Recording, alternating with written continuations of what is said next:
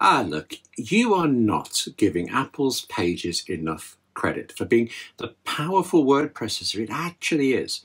You and I are going to fix that right now. After one important piece of news. It's the winners of the 58 Keys 1000th subscriber contest, courtesy of the very nice, very funny, and really generous people at the Omni Group. Two people are about to get one of my absolute favourite writing apps, Omni Outliner not just Omni Outliner, they are both getting the full extra Omni Outliner Pro. And not only are they both getting the full extra Omni Outliner Pro, both winners are getting Omni Outliner Pro for the Mac and separately for the iPhone iPad.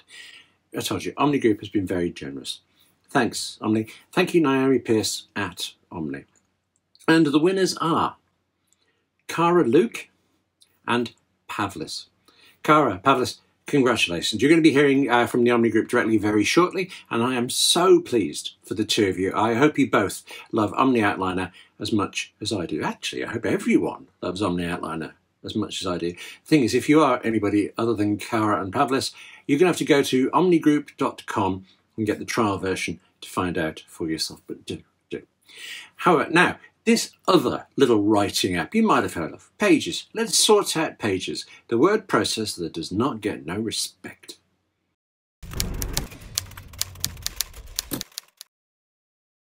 Hello, I'm William Gallagher, and this is 58 Keys, which, as ever, as always, is for writers like you and me who use Macs and iPhones and iPads, possibly too much.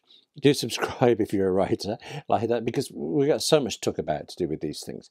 This time, we're talking specifically about pages. I mean, you, know, this is Apple's free word processor, but maybe because it's free, I really believe it's underappreciated by such a long way. And actually, certainly because it's Apple, there's a strong chance you may not know all it can do because Apple likes to hide things to make them appear simple. With Microsoft Word, for example, it's like you've got to study the manual before you can type a letter to somebody. And it throws every possible feature at you in its controls, its ribbons, its but you've got to study Word before you write anything. Whereas with Pages, Apple's figures you're a writer. You just want to get on with it. So it presents the bare minimum of what you need in a word processor. Trouble is, it's then very easy to therefore think it hasn't got anything more than the bare minimum. Let me show you the way.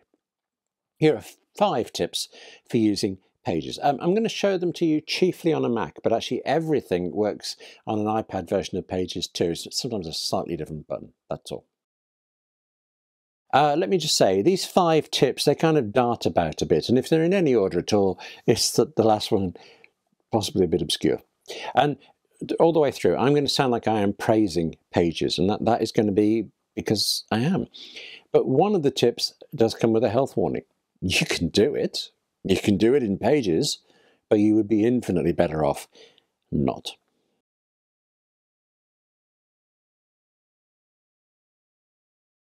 If you need to know how many words you've written, then it tends to be that you really need to know. You're writing to a word count that you've been given.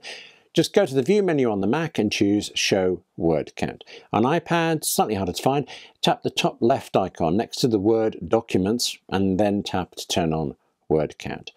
So far, so ordinary. And if you haven't found Show Word Count option, especially in the Mac, I think it's got to be because you haven't really been that bothered enough to look yet. You get around to it at some point in the future. It is that easy to find. It's harder on the iPad, I grant you. But once you have found it, you can then easily miss that there's actually more you can do, more than count the words in a word count, such as move the word count around.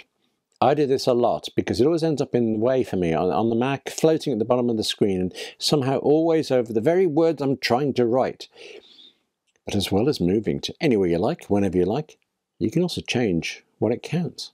And either Mac or iPad, click or tap on the word count itself, and you can change it to show instead of words the number of paragraphs if you like, the number of pages that can be useful, and so on.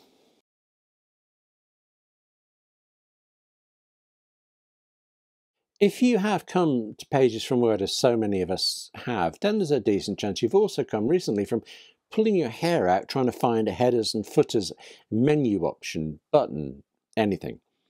Simplest thing, simplest version, click at the top or the bottom of the document on screen and you will see three boxes. It can take get, uh, getting used to finding just the right spot at the top or bottom to click or tap, but if that is driving you to drink, you could first just choose the view menu, then show layout and the boxes will appear all the time. The three boxes are for the left, right, left, right, and middle of where you want your header, so you know your page count, your title, whatever it is, to appear. If you want it on the left, right, or middle, yeah, pick your box. And same with the footer. Page count and special, by the way, Spe and special and so common that it's also easy. Click in any one of those three boxes of the header or any one of the three boxes in the footer, and you'll immediately get a Insert Page Number button. Click or tap on that, and you get the typical possibilities for page numbering a document. You know, whether you you just want the number one or you want one of 99, whatever it is. I don't know actually of any way to have the page count in both the header and the footer, and sometimes you do. Once you've tapped in any of those three boxes at the top or the bottom and chosen to put a page number in it, then when you click in any of the rest of them, you no longer get that prompt to insert a page number.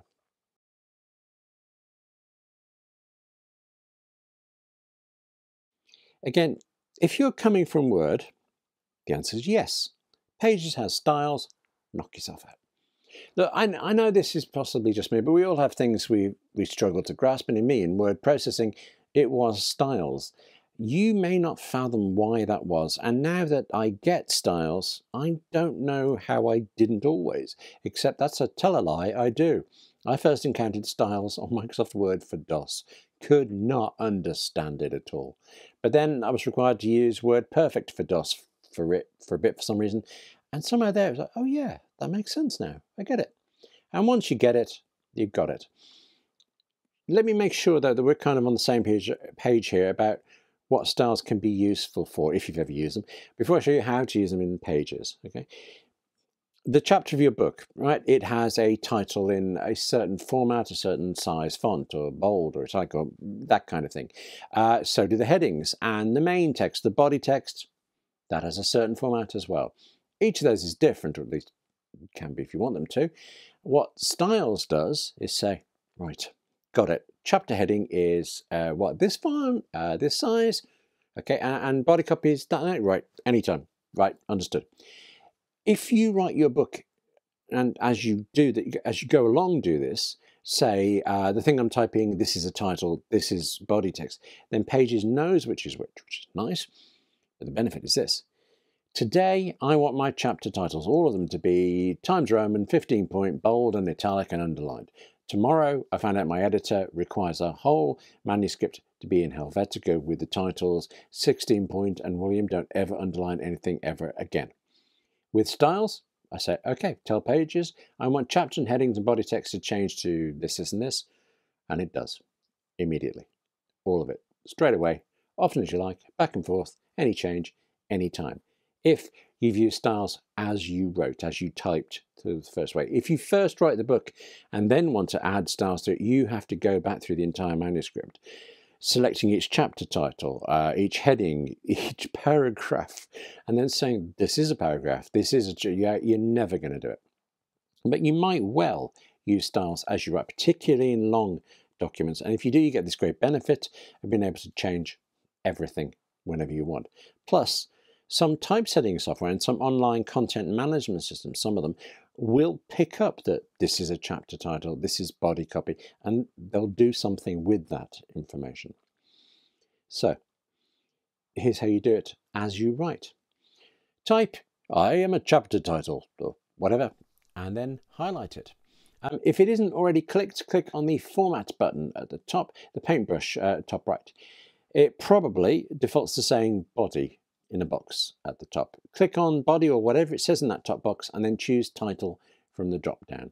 Instantly, your highlighted text is a chapter title. That's using the defaults, the default fonts and sizes that come with pages. If you don't like them, change them. Select the text again, and from that same format menu, now choose italic if you like, or change the font. Uh, click on that cog to get more precise options, or just, you know, mess around with the color. Whenever you're done, Notice that title in the top box has changed. It's changed to match your choices with italic and colors and things. Plus, it has an asterisk and the word update. The asterisk is pages warning you that you have changed the title style or whichever one it is, and the update button is how you tell pages, yeah, so you want to make something of this? Click on update, and from now on, your chapter titles, all of them, will all be as you've just set them in this document. If you want that to be uh, the same chapter style format for everything you write ever, I suppose, save this document now as a template and then just work from that in future.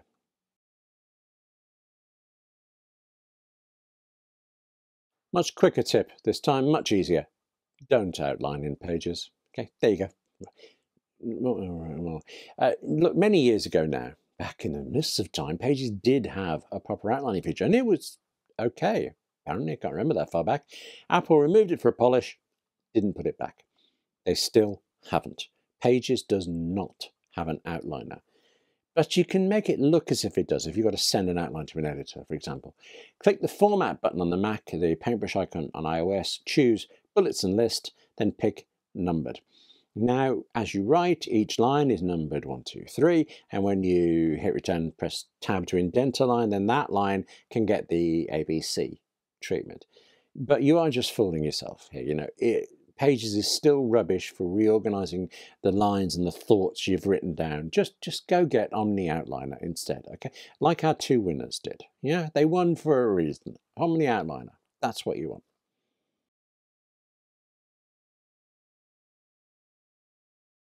I'm conscious that I'm knocking Word quite a bit, and I can keep going on that. But actually, something Word is good at is cross-referencing.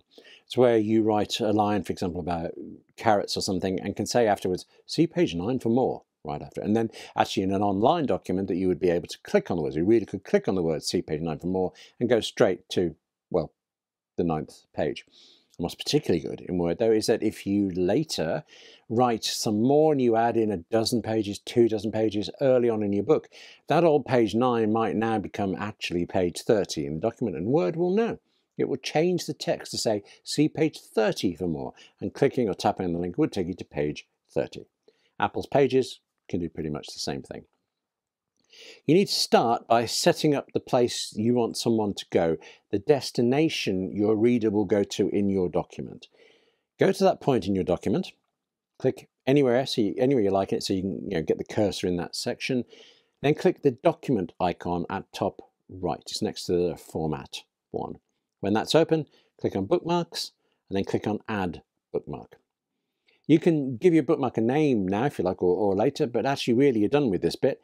Now you need to go to anywhere you like in the document, any one place or any many places over and over, that it would be useful for your reader to know that there is more carrot information in the world somewhere. Highlight some text that you want uh, the reader to tap on or click, then command or right click to bring up a, a context menu, as it's called, choose Add Link. Choose from the list of bookmarks that you've created or notice that Pages is actually suggesting. It Depends on the format of your document whether it does or not, but if it has, there'll be a few there for you. There's no enter or OK button afterwards though. You choose the bookmark from that list of drop downs, and then what you do is you click or you tap away from the whole dialog box. Just tap somewhere else on the page. That's it. Dialog is dismissed, and you're done. You've got a link to a point. You've got a cross-reference to somewhere else in your document. There you go. Five tips for using pages, including number four, buy Omni Outliner instead. One day I'm going to shut up about that app, but it doesn't look like it's going to be today, does it? To be fair, I'm keen on a lot of apps, and actually Pages is definitely one of them. Pages is far, far more powerful than we tend to give it credit for. I like that Apple does this, this thing of hiding the options so that they're not in your way, that you're a writer, you can just get on with the writing. That's what I want to do. I like that so much more than words. Look at me, look at me. I can do everything. Let me show you all of it in a row. It'd be good if more people knew just how much pages can do. In fact, actually, normally about now I'd be saying, you know, go on, subscribe to 58 Keys, but just this once, how about you do this instead? Tell someone else how good Pages is, okay? Of course, you are a writer, you can cope with more than one thing at a time. I'm not going to say no if you also want to subscribe to 58 Keys. Thank you for watching this edition of 58 Keys. Take care of yourself, eh? And I'll see you soon.